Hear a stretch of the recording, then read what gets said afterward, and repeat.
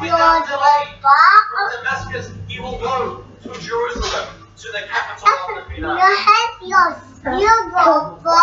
the Muslims. It brings Rebecca.